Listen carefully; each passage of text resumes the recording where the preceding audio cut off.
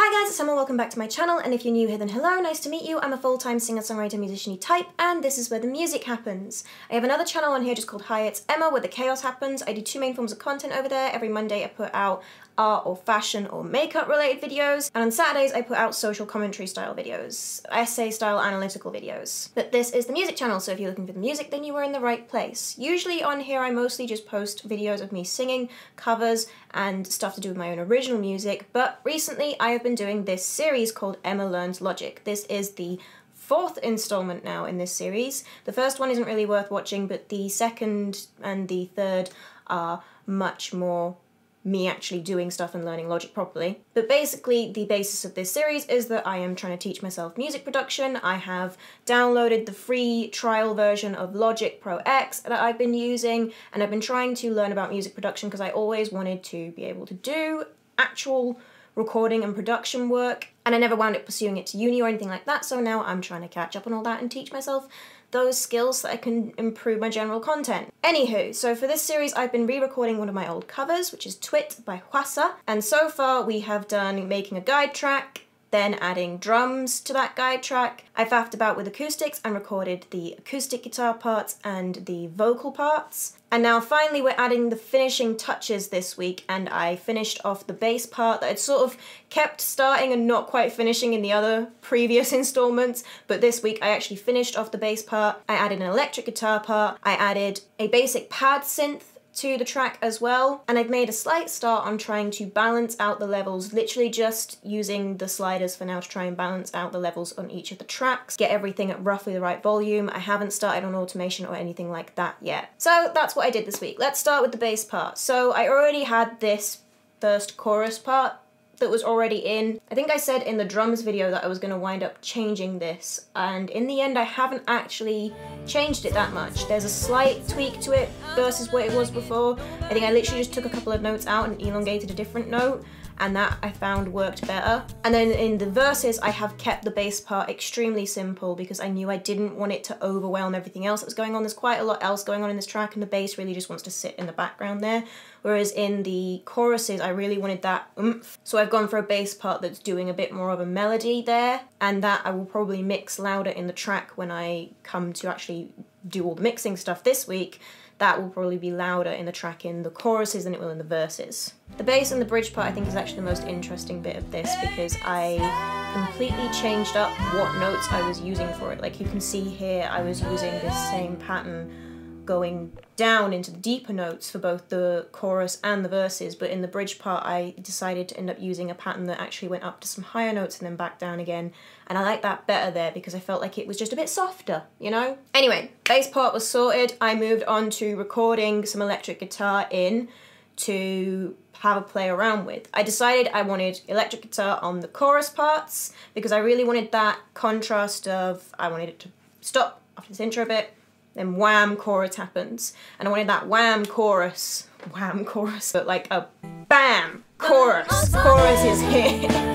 But I also decided to go with some gently strummed chords for the bridge part as well and put a little bit in there and I think that really works quite well. I just used the power chords because I literally just wanted some electric guitar just to beef out the track so I haven't played around with trying to put any riffs on. I may well get the electric guitar back out later on down the line when I'm mixing and I'm hearing more what other parts I might want to throw on. I may want to add a little riff or something in there, particularly in that second verse maybe just to add a bit of contrast and interest there. I don't know, but I've decided not to mess around with that this week. This was just me adding some electric guitar to really beef up the track, and I think it sounds way better now that the electric guitar is on because it really sounds rounded out in those choruses. So obviously to do with the guitar, I plugged the guitar straight into my interface and ran it through the amp designer that you get on Logic because as I mentioned in last week's video, I only have a basic Gear4music amp. I don't have any fancy pedals or amps at all, so it's not really great for recording at all. So I decided to just DI it straight in and apparently you can get some really quite good sounds with the amp designer and you can really tweak the sound and the tone to be very specific and not just you either have this amp or this amp. You can really tweak different bits of the setup. Anyway, so I was just going to pick a random one, but I wound up cycling through them for quite a while, and I wound up landing on one that then, when I came back to go through the amps later and pick one out to actually be my final choice, I basically went with what I'd already picked to do the recording in. Like I've tweaked it slightly, but I did pick the main overall setup initially and then you have the option to change out different bits of the amp setup. So you've got the amp head and you've got the other bit that I've forgotten what it's called now. The stack. It's the one. And I changed the stack. So it originally had both the amp head and the stack were from okay yeah so basically i originally had both the boutique retro amp and stack together and i went through the stacks for ages trying to pick one out because i quite liked the set because i just went through all the bog standard setups the main setups for different amps. And i decided that this was definitely the one that was closest to the tone that i was going for but i wanted something that sounded it didn't sound as full or as um, light as I wanted it to. It was a bit too heavy and not really heavy is not the right word. It was a bit too grungy with not enough filling the room and feeling like there was air around it, if that makes any sense.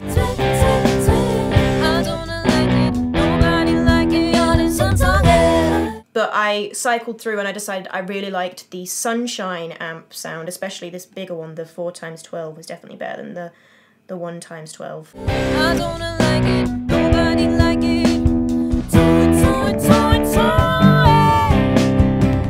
really like the sound of that because I felt like it made it fuller without making it really big and beefy sounding. Like I wanted a bit of beef to it, but I didn't want it to be a really big beefy cow, you know. I wanted a bit of fluffiness, like a big sheep rather than a cow. And I then cycled through the microphones, and I didn't think this was going to make that much of a difference because I was listening to it over, I was watching a YouTube video of someone doing this, and when I was listening to them cycling through the different microphones, like I couldn't really hear the difference in the sounds they were getting. But when I was actually doing it myself and listening to my own sound through my headphones properly, obviously you're gonna get you're gonna get a better you're gonna be able to hear it better really that. I don't know if you guys can hear it as well when I'm cycling through them here, if you can actually hear any differences.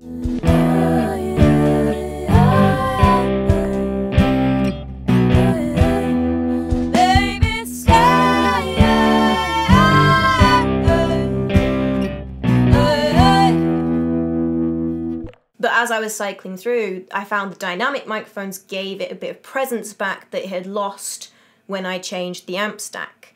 But the using the dynamic microphone kind of gave it that presence and that clarity back that it didn't have with the ribbon microphone. Again, I don't know if people can hear that at all. And I decided to just move it ever so slightly more towards the center of the speaker as well. I thought that that sounded better, sounded clearer, and still had that beefiness to it without being too beefy again.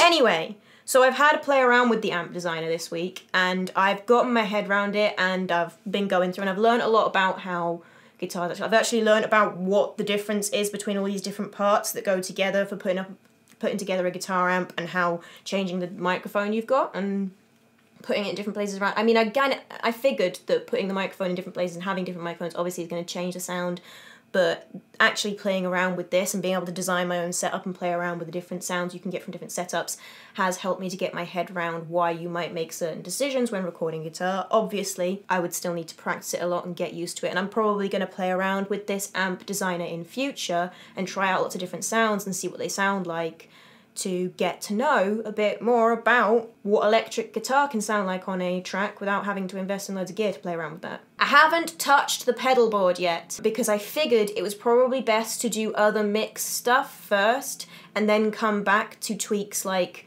pedal board because from what I can tell, people use pedals to do a lot of adding effects on and stuff that you do with um, adding plugins on the other tracks. So for my vocal, if I want to add some compression to it, I'm going to add a compression plugin, but for my guitar, for this electric guitar here, I might want to mess about with a compression pedal instead.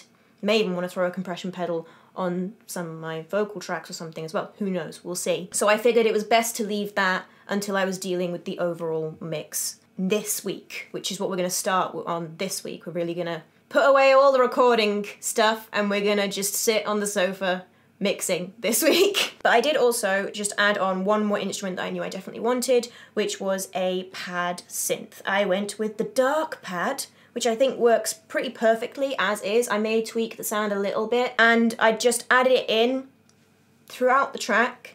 Again, it's doing more complicated stuff in the chorus than it is in the verses, I think, if I remember correctly. Yeah, no, it's doing more complicated stuff in the choruses than it is the verses, and same with the bridge. The bridge is, in fact, the choruses and the bridge all have the same part just playing through them basically. I kept it really simple. It's mostly just a lot of long notes, the roots of whatever chord is playing at that moment mostly. And I've just put it in there to add an extra bit of atmosphere to the background throughout the track. I think it really helps with that, but I do think that I may want to tweak this sound somewhat to make it maybe take up a bit less space just be there in the background a bit more with the mixing. So if anybody has any advice for how I would do that, how to make this sound retreat into the background even more, let me know. Finally, the last thing I did, as I said, was I just started working on the balancing of the track overall because I read in one of the many articles I've been reading about overall production and mixing and stuff that before one person's opinion this is, I don't know, other people may have different opinions, but this particular article said that before they even touch any of the effects plugins that they start off by just balancing out the track and using automation to try and get the volumes as close to perfect as they can without adding any effects on, trying to get it as professional sounding as possible before you put any compression or EQ or any of that stuff on. So I decided to just have a quick play around with trying to get the levels as balanced out as possible. So this is what the track currently sounds like.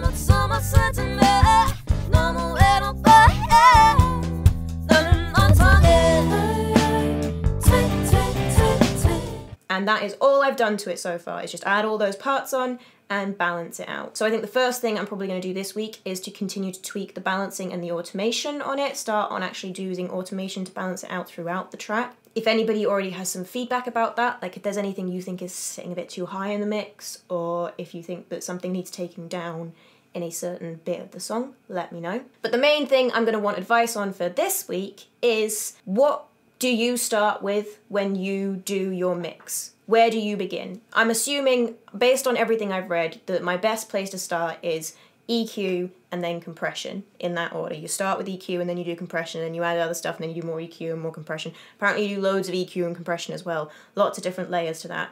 I'm probably going to be doing lots of reading on EQ and compression for that reason and just starting out trying to get my head around about what I'm looking for and what I should be listening for for changes and what ty- how to actually use all the different types of EQ because there are so many different types of EQ plugin you can use. Any resources or advice you have on compression and EQ in the comments as always. And if you just want to share like how do you go about mixing vocals, mixing acoustic guitar, mixing drums, whichever part it is. I'm probably going to start with the vocals and the guitar and really focus on them first. They're the ones I'm probably going to be mixing most in future, let's face it. So they're the ones I should probably try and get my head around best. In the end of the day, my drums are just uh, sample that already has a load of effect plugins on it anyway. Should I just take all those off and start from fresh as well? Should I leave them on and just tweak them, or should I just take them off and try going from a complete blank? I don't know if I don't know which one of those would be better and more helpful. So if anybody has an opinion on that, let me know. But yeah, basically this week we start on the mix with compression and EQ and let me know what order you do things in, what plugins you particularly like to use, any particular EQ tricks you like to use on certain instruments, what are your go-tos, that sort of thing. And most importantly, as always, any resources you recommend me going and having a look at and reading up on to get my head round the first phase of mixing. The current version of the track will be playing more clearly on the end screen for you to really get a listen to, and obviously it's playing in the background now as well, so hopefully you'll get a good idea of what it's starting to sound like. If you enjoyed this video, then hit that like button, leave a comment letting me know, maybe share it with your friends, and if you want to see what's going to keep happening with this series and how the track turns out when I'm finished with it, then you better hit that subscribe button so that you get those weekly updates that I'm doing and so that you hear the final version which should come out before the end of the year. Before the end of December, I'm hoping to put up a video of me actually doing the final version of the song, at least lip syncing to the final version of the song because I've already recorded the vocals. So I'm also going to be releasing new music in the new year. So not only should you subscribe to this channel so that when the amazing music video I have planned for that comes out, you're here ready for it. But you should also check out all of my social media, which will be linked in the description below, so you can keep up with updates about when things are coming. And you can check out my EP that's already on all the different streaming platforms and find me on there and then follow me on whichever streaming platform it is you use, especially if you use Spotify, because we artists, we do love to make a big push for Spotify. Nothing against any of the other streaming services, just the Spotify is the one a lot of people use, and it is one that's really easy for artists to push themselves on in a way that some of the others aren't the the way that you're able to run your profile on Spotify is just easier. Sorry, it just is. Anyway, that'll be linked in the description below. So if you want to go and follow me on those and listen to what music I already have out, so you get an idea of what I actually put out there. Please do. And finally, if you really want to support me at the moment, one of the best things you can do is you can check out one of my streams on sessionslive.com. Sessions is a live streaming platform just like things like Twitch, but it's specifically for musicians. I stream live on there every Tuesday and Wednesday evenings from 7 p.m. UK time, and then I do occasional other times like this week I did am um, doing Friday tomorrow 12 p.m. and Sunday 12 p.m. midday. My profile will be linked in the description below, and there are ways that you can help me on there both by actually sending me money in the form of tips we call love in streams, or you can also join my crew and then you can complete missions by collecting stars and stuff that earn me points. There are missions you can complete on there completely for free, so there are ways that you can help me earn points that help me earn money in the future and earn cash prizes and stuff like that, but that you can do completely for free if you want to as well. So if you want to support me, that's one of the best things you can do for me at the moment is head over there and join my crew. Plus my streams are fun. Check out one of the highlights videos I've put up on here and you'll see just how fun they can be. Anyway, that's all for this week guys. I shall head off and into the mixing hole now. I look forward to hearing any feedback you guys have from this week and